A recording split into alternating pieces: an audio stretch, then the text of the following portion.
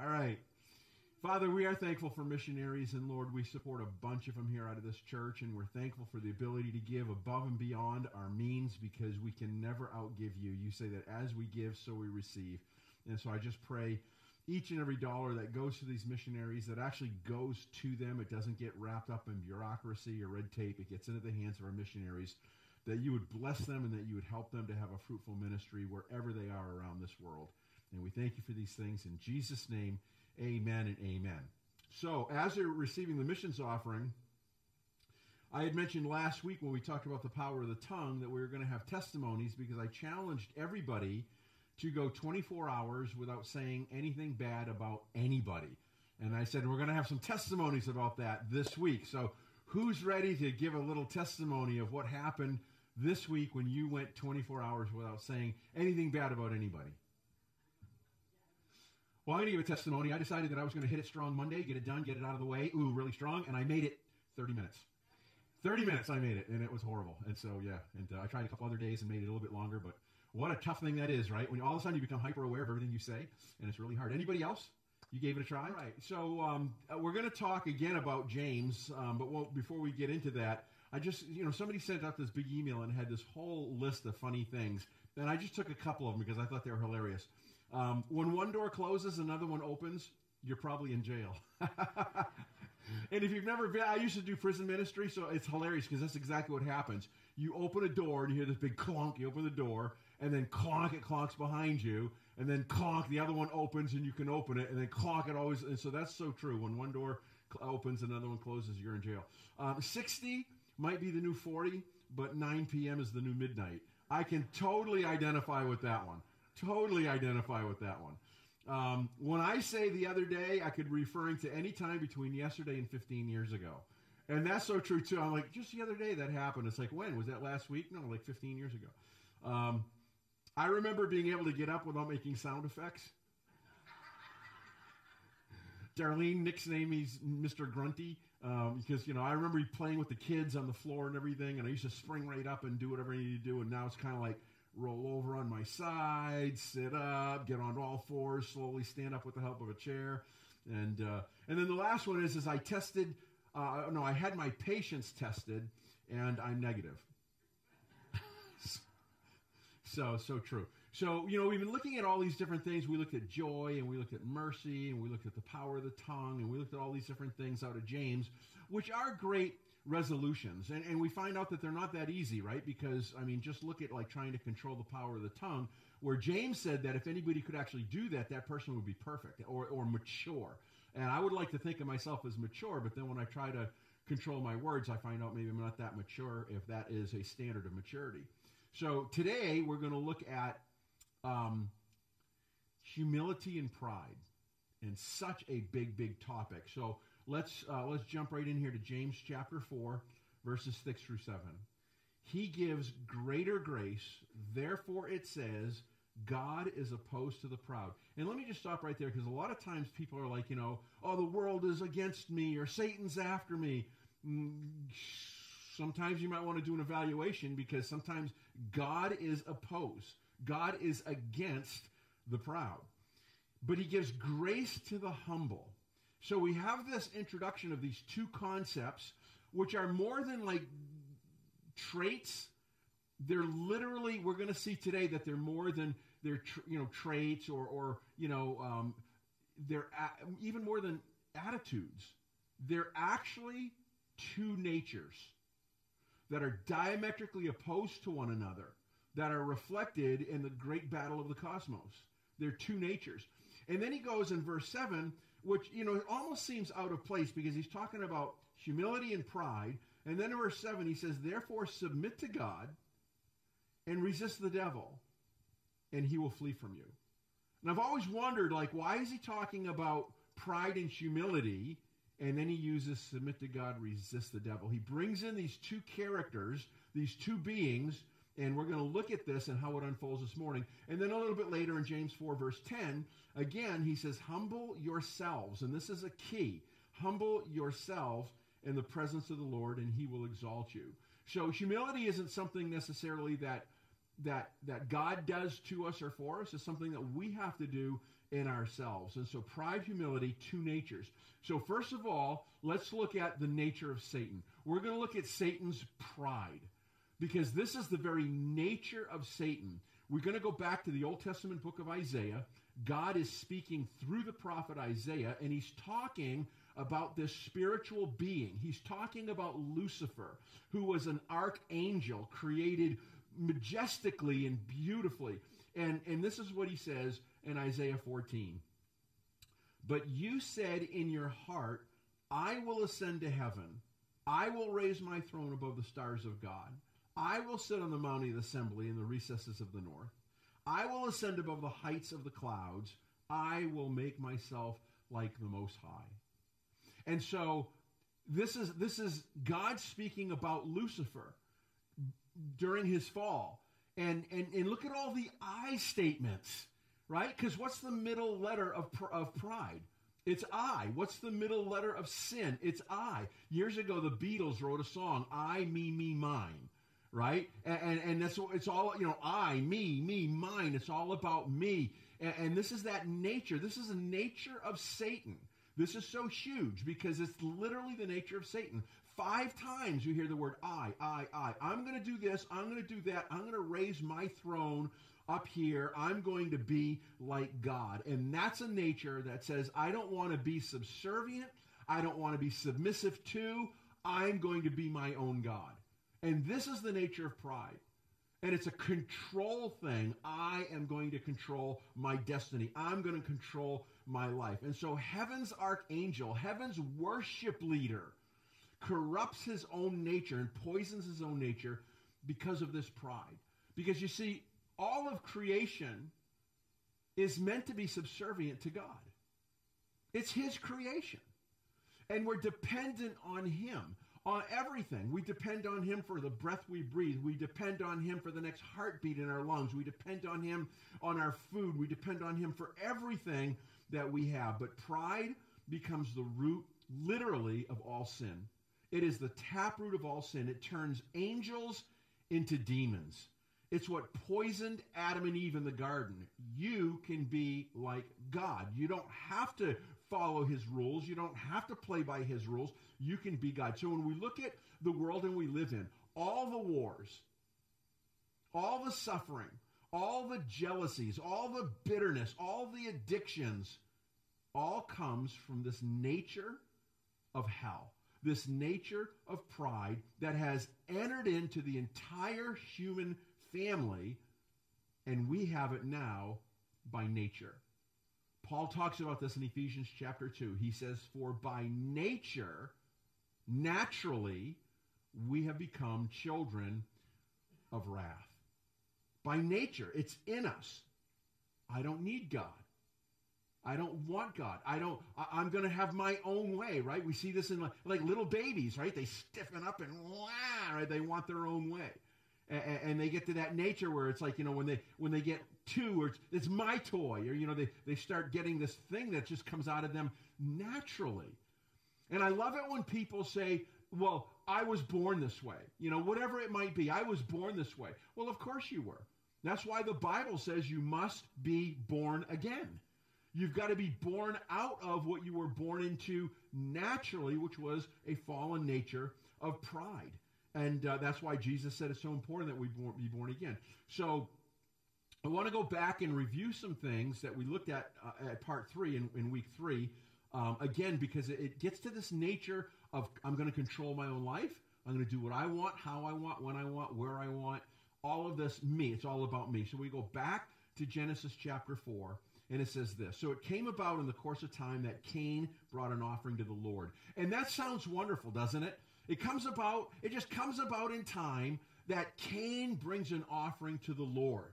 And we would say, wow, he's acknowledging God, right? So, I mean, he heard from Adam and Eve what, what was going down. You know, his, his parents were the ones that, you know, tripped up and fell into sin. And by that, we've all now inherited this nature of the fallen one who deceived them in his rebellion and in his fall against God.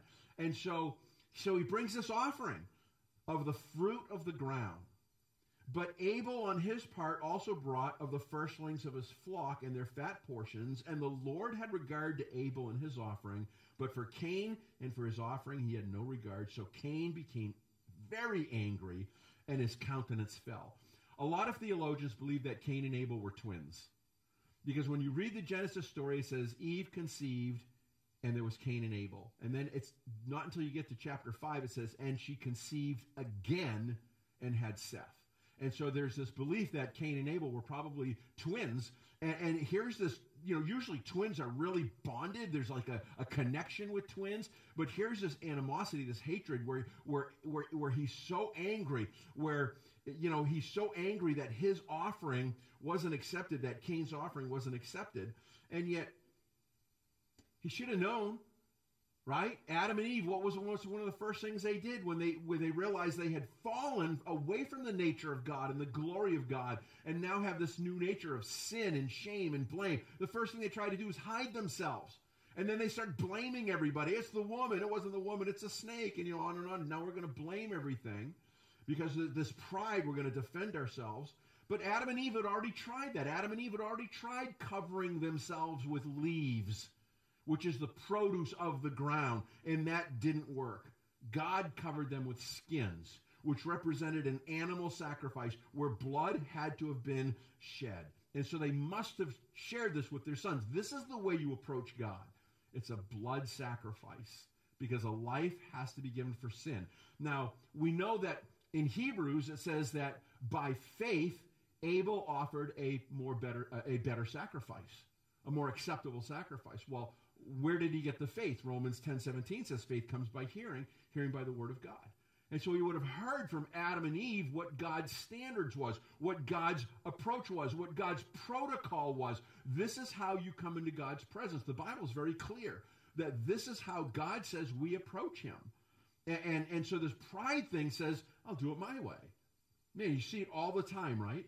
And we see this reflected as it unfolds in Scripture. The prophet Ezekiel said, The person who sins will surely die. And we know that God told that to Adam. When the day that you sin, you will die. And literally in the Hebrew, it says, Dying, you will die.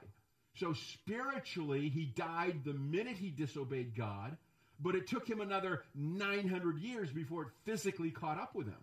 But dying spiritually, you will surely die physically. And so it goes on in Leviticus 17 11 for the life of the flesh is in the blood and i've given it to you for the altar to make atonement for your souls it is by the blood by reason of the life that makes atonement and so uh, there's got to be an innocent life given for the guilty there's got to be a covering there's got to be a payment because god is holy and god demands a recompense for man's sin God doesn't just turn a blind eye to it and say, I forgive you guys. It's just a big mistake. Let's just put it behind us. No, there's got to be penalty. There's got to be justice. Otherwise, he wouldn't be a fair God or a just God. And then finally, we get to Hebrews 9:22, and it says, "According to the law, one may almost say that all things are cleansed with blood, and without the shedding of blood, there is no forgiveness of sin." He said blood. He didn't say sap, right? He didn't say like you know the stuff that's in trees and plants and things like that. And so um, th- this is this is what happens in Matthew in, in uh, Mark chapter 11 when we have the story of Jesus cursing the fig tree. What happens there? Jesus comes up to a fig tree expecting to find figs for food, and it's got nothing but leaves. And he curses it, and it dies. It withers from the roots and dies. And what did Jesus say? How did Jesus curse it? With words. He said, No man will ever eat from you again. And the symbolism and the typology that's taking place there is that Israel is a lot of times in Scripture referred to as the fig tree. And basically, Jesus is saying, I've come to the nation of Israel who had the oracles of God and the prophets of God and the priesthood and all these things looking for fruit. But instead, all I find are the leaves of religiosity. You've got all this stuff, but it's nothing more than a religion. You've got the law, but the law can only convict of sin, which, which gives you a sentence of, of condemnation and death. The law can't bring life. Religion can't bring life. Listen, we know we're condemned. We know that we have a sentence of death over our heads because of our sinfulness, but there's nothing that can bring life. The only thing that could bring life was a blood sacrifice that would appease and be the propitiation towards God's holiness and his justice and the demands of his wrath that would enable us now to receive life. You must be born again. You've got to enter into this relationship with Christ where there's a new genesis of life that comes into you and you're born again. There's a new identity that happens where I'm shifting away from the old nature to the new nature. I'm putting off the new man. I'm putting on the new man, uh, the, the old man. I'm putting on the new man created in righteousness. I'm putting off pride and I'm coming to God the way God says to come to him through the sacrifice of Jesus Christ because Jesus said, No man comes to the Father unless they come through me. Religion doesn't do it. Religion will never do it.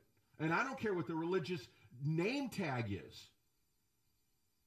You've got to be born again, and that's by submitting, humbling, coming to God the way God says, and now we can receive this gift of life. And now we can be born again.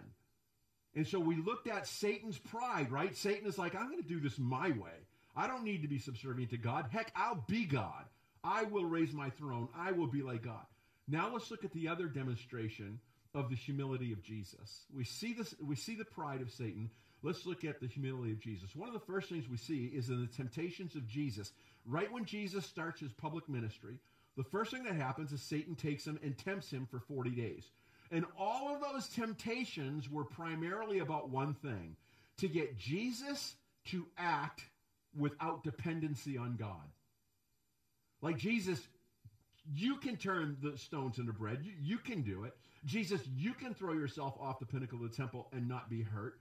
You can do these things independent. You don't have to check in with the big guy upstairs. You don't have to, you can just do this yourself. All those temptations where you get him to act independently without God. And then we get to Philippians chapter 2, and it says this Have this attitude in yourself, which was also in Christ Jesus. You know, there's a lot of times I go on Facebook and I see these funny memes about attitude. Like, I got a bit, you know, I got an attitude, and, you know, you know and we make fun of attitude. And, and, and God doesn't tell us to have attitude, He says, have this attitude. He says, have this attitude in yourself, which was also in Christ Jesus. It's the reflection of a nature. One, Lucifer, Satan, the devil, a nature of pride. Everything, everything that comes out of him, emanates from him, is pride. Everything that comes out of the attitude of Jesus is humility. Have this attitude which is also in Christ Jesus, who, although he existed in the form of God, He's of the very nature of God, the very essence of God, the very substance of God, because he's part of the Trinity. He is part of the Godhead. He's one with God, one God in three persons. Uh, he did not regard that equality with God a thing to be grasped. In other words, he didn't come to the earth and say, Hey, I'm God. And this is what's going down from here on out. You're all going to do what I say and how. He didn't do that. He didn't, but, but rather it says, he emptied himself. And in the Greek, it's the word kenosis. This is what's called the great kenosis of Christ, where although he is God in the flesh, he empties himself of some of those things, some of those attributes. What are some of the attributes he emptied himself? Omnipotence, all powerful. He fell asleep in the boat. He understood what it meant to get wearied and tired. Uh, omnipresence, God's everywhere all the time. Jesus limited himself. If he was in Jerusalem, he wasn't in Samaria. If he was in Samaria, he wasn't in uh, Capernaum, right? So all of these different things. He, you know, he didn't empty himself of his holiness or of his deity or of all these things, but he emptied himself. And look at what it says: taking the form of a bondservant and being made in the likeness of men, being found in the appearance of a man, he humbled himself. He, he humbled himself. Again, this is something we have to do. God not, doesn't do it for us. He humbled himself. That was a choice he was making. Boy, I'm a big fan about choice. I'm reading a book right now, and it's Calvinistic theology, election, predestination, and I just can't buy that for anything. I just can't believe that God says who's going to go to hell and who's going to go to heaven. I, I can't believe that. Because if that's what really happens, and there's people going to hell unjustly because they were already damned before they were even born. And, and how unjust is that? But emptying himself, he humbled himself, became obedient. I want to be obedient to the point of death. Even death on the cross. Holy smokes. So does this unpack itself in the life of Jesus? You betcha. Let's just go through a couple of chapters in the Gospel of John. John 5:19, the Son can do nothing of himself. I'm not going to do anything on my own. I'm humbly here to obey the Father. 5:30, I don't seek my own will, but the will of him who sent me. I'm not here doing my own thing. Verse 41, I do not receive glory from men. No pride. I'm not I'm not looking for accolades. I'm looking for I'm not looking for pats on the back, right? Chapter 6 verse 38. For I have come down from heaven not to do my own will, but the will of him who sent me. John chapter 7 verse 16. My teaching is not my own, but him who sent me. Verse 28. I have come not of myself, but he who sent me is true. Verse 50 in chapter 8. I do not seek my own glory. Again and again and again, Jesus is emptying himself, not demanding anything, only being obedient to the will of the Father. Doesn't do anything outside of the will of the, whole, of the, of the Father, and doesn't do anything outside of the enabling of the Holy Spirit.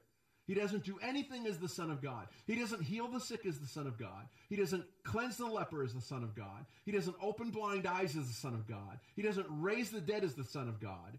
He does it all through the power of the Holy Spirit. His dependency is on obedience to the Father and the ability of the Holy Spirit. That's why he said, What I do, you can do also because I go to the Father.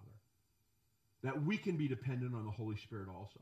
So you see that there's this, this aspect of humility that incorporates this concept that you find in Scripture of brokenness. That God delights in broken things, that God uses broken things. Now, here's a hope for fallen humanity because we're all broken. We are, we're all broken. We all have things, right? There's so many broken lives. There's so many broken hearts. There's so many broken dreams. There's so many broken hopes. So many broken visions. And so we get broken. But God uses broken things, right? Moses, go to Horeb and there's a rock there. And when you strike the rock, it will break and split, and out of it will flow water to, to, to nourish the three million people that came out of Egypt. Gideon, take these jars and put the lamps inside the pitchers, and when you charge down, smash them, break them, and the light will shine, and it'll confuse the enemy. Jesus takes bread and he breaks it and blesses it and begins to feed 5,000 people. The woman with the alabaster jar of perfume comes into the presence of Jesus and breaks it, breaks its seal in order for the fragrance to fill the room, to anoint Jesus in preparation for his death and burial. God delights, and there's so many more illustrations in Scripture about God uses brokenness. God delights in using broken things and in broken people whose will and ways are broken before him. In other words, we just get to a point where we say, I'm done of trying to do things in my own way. I'm done of trying to do this on my own. I'm going to surrender. I'm going to surrender. That's what brokenness is. That's why a lot of times in worship, we lift our hands because it's the international sign of surrender. It's like, God, I honor you. I glorify you. I surrender before you. I'm tired of trying to do it on my own. I can't do it on my own. I'm a failure.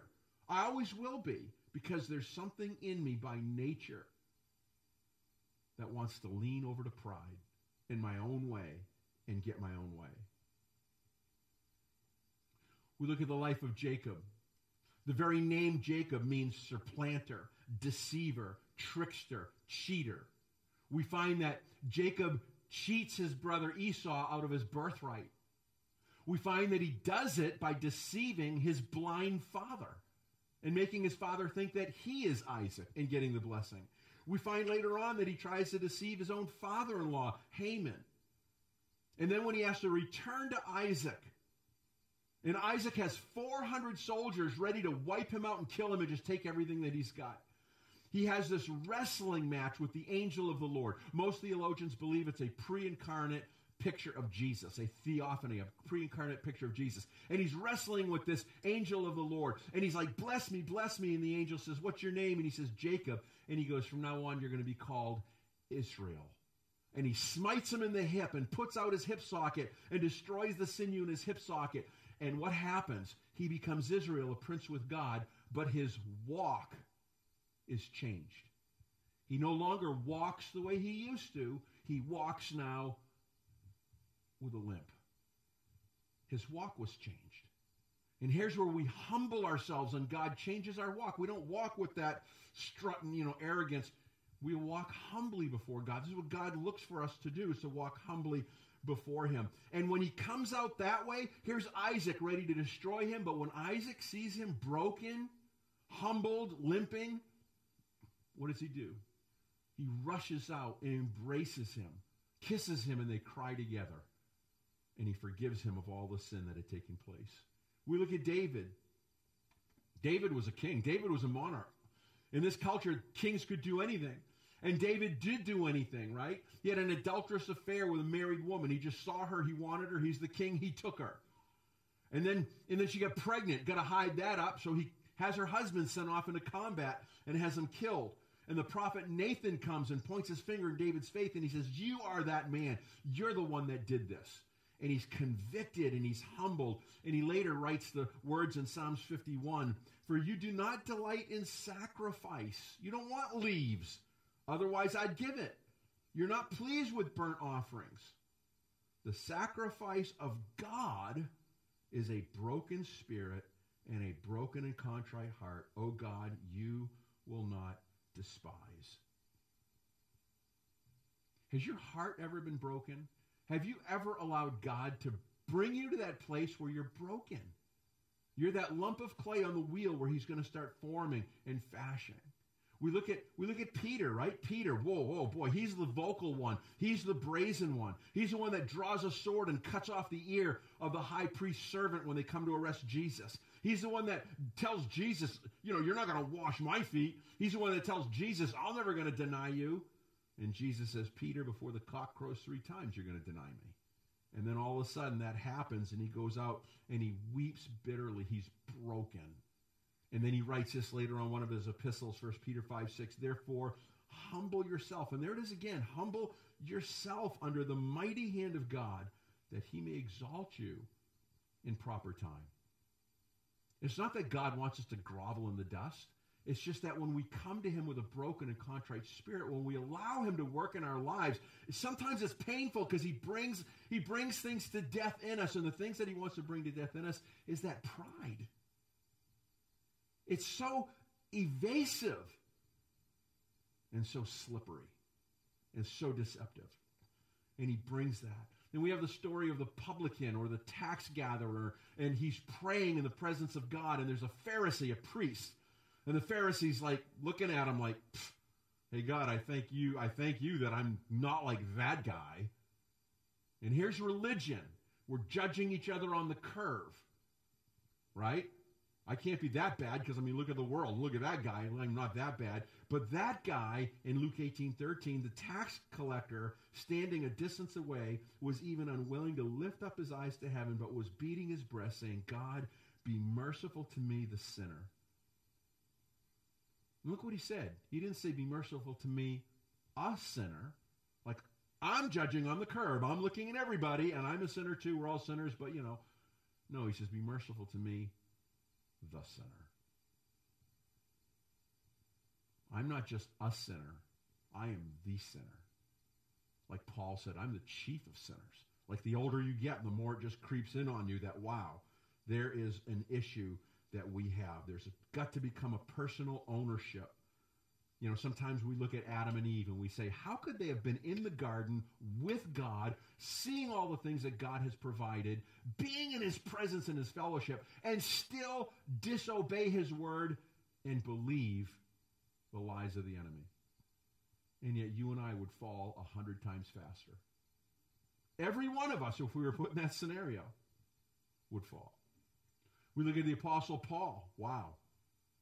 What a great guy Paul was. Look what he says in Philippians chapter 3, verse 4. Although I myself might have confidence even in the flesh, if anyone else has a mind to put confidence in the flesh, I far more. Circumcised the eighth day of the nation of Israel, of the tribe of Benjamin, a Hebrew of Hebrews, as to the law, a Pharisee, as to zeal, a persecutor of the church, as to righteousness, which is in the law, found blameless. That's quite a resume right there. That will open doors for you. But he doesn't stop there. he goes on and he says, But whatever things were gained to me, those things I've counted for loss for the sake of Christ. More than that, I count all things to be lost in view of the surpassing value of knowing Christ Jesus, my Lord, for whom I've suffered the loss of all things and count them but rubbish so that I might gain Christ.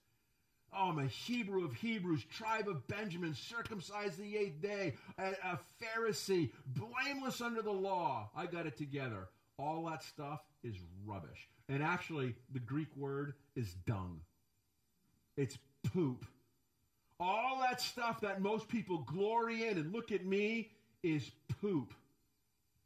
Refuse. I would much rather have the higher calling of knowing Jesus. That's all that matters is knowing Jesus.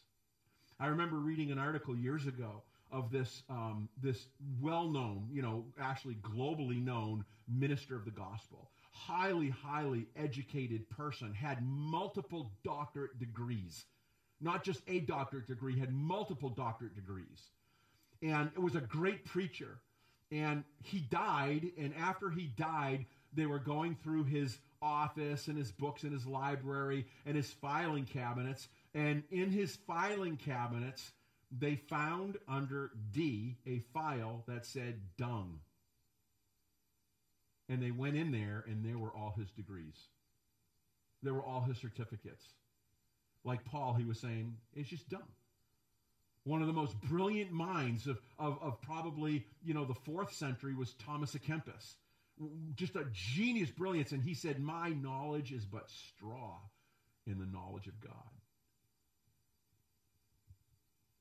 Just, just pride versus humility. And then we look at Jesus. And when we look at Jesus, we go back to Philippians 2 8. He humbled himself by becoming obedient. And man, there, there, there it is right there. How do we humble ourselves? By becoming obedient to the point of death? Well, yeah, we have to die to pride. We have to come to God the way God says. We have to humble ourselves and die to ourselves and come to God the way God says. Jesus said, unless you humble yourself like a little kid, you're not going to make it in the kingdom of heaven. And little kids are just gullible. They're going to do whatever, you know, mom and dad say. So dad's saying, go to the cross. That's the way you get into heaven. So we humble ourselves and we go to the cross. We die to our own self so that we might gain Christ and that we might know Christ. You know, medical profession tells us that around the heart is a sac, a membrane called the pericardium.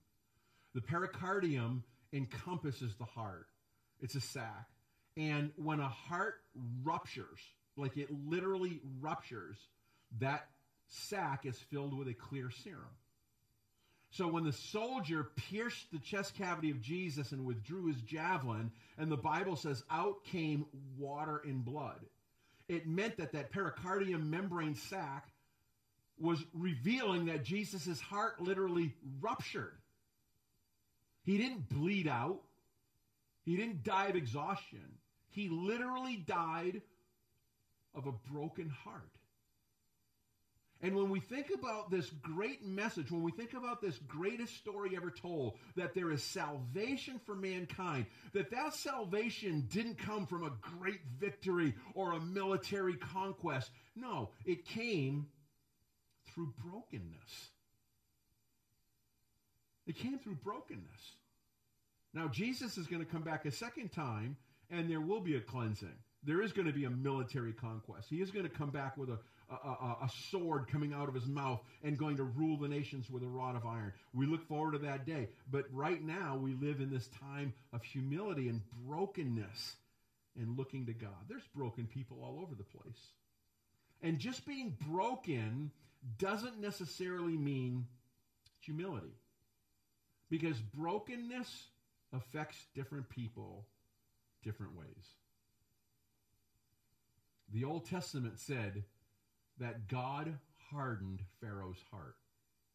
Paul talks about this in Romans 11 that God hardened Pharaoh's heart. And when we read that, it kind of goes back to like this election thing like, wow, what, what chance did Pharaoh have if God was the one that hardened his heart? But we need to understand and we need to remember that in the Hebrew language, there is this thing called permissive verbs, which we don't even have in our language. Which means that a lot of times when it says God did this, it means God allowed that. God allowed it. Because we find other verses in the scripture that says Pharaoh hardened his own heart. So what really happened? Well, it's not what God does necessarily. It's what God reveals. So when life is hard and life is harsh and we get broken and we get wounded and we get hurt and we get fractured, some people are broken by that and they look for God.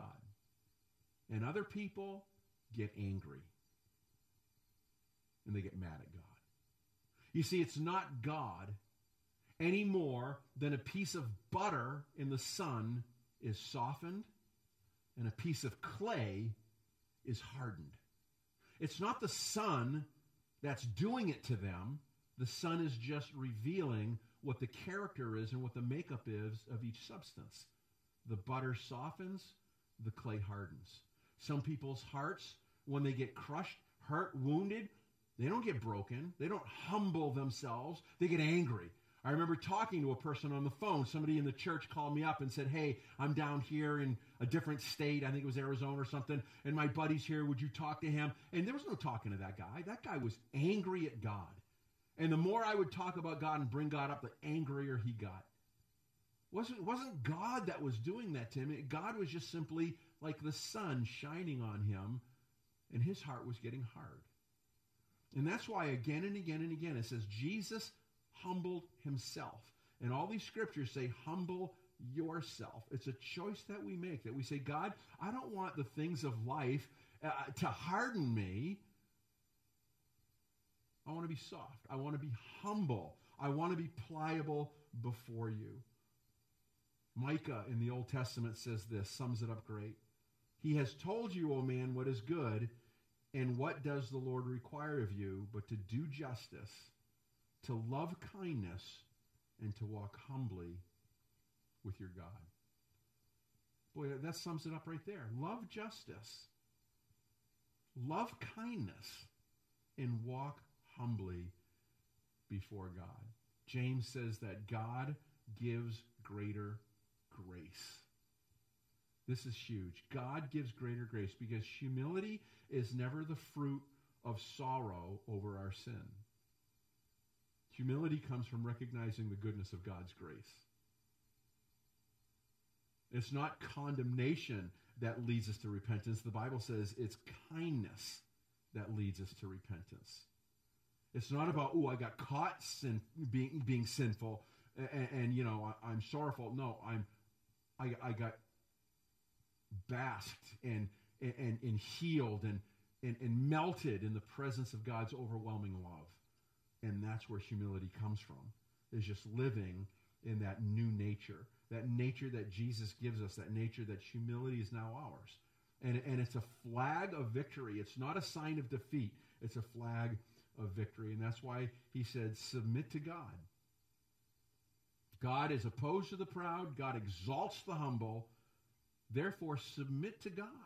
When life is doing things to you and you think it's unfair, just submit to God and let him have his way and resist the devil. Resist that hardening process, that I'm angry at God. Why did God do this and why did God do that? I've met so many people angry at God. Why, why did this happen? Why did I lose this child? Why did I get cancer? Why did my why did I lose my job? All these different things, angry, angry at God. Well, you know, the Bible says it rains on the just and the unjust. That's life. And some it hardens and some it softens.